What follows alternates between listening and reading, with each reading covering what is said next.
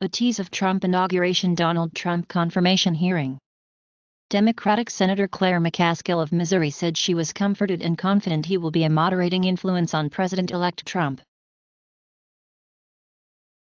But the question of how his business holdings around the globe can be squared with his wider obligations as president without raising questions of conflicts of interest threatens to cast a shadow over the Trump presidency.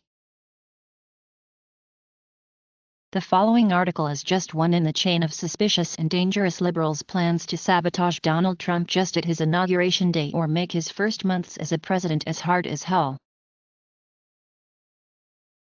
Vladimir Putin declared last week that Russia would begin withdrawing forces following a ceasefire deal between the government and opposition. I don't get the sense his views on Russia are out of the mainstream at all, Corker told CNN's Manu Raju in an interview on Monday. While many of the Democrats were content to dig for dirt, most of the Republican senators went out of their way to praise Sessions as a man of integrity and great principle. I have no reason to doubt that and no evidence of anything otherwise, Sessions said at his confirmation hearing Tuesday.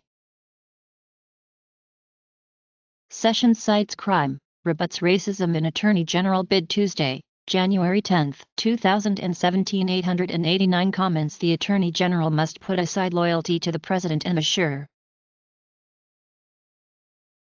Trump blasts overrated Streep for Golden Globe speech Monday, January 9, 2017 681 comments. Anyone with even a smidgen of intelligence knew it would be a Trump.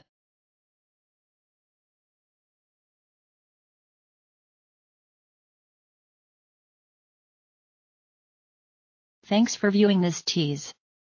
Sign up for the Tip Top Tech channel or search for a Tease Second Mind on YouTube to find and then enjoy other teas.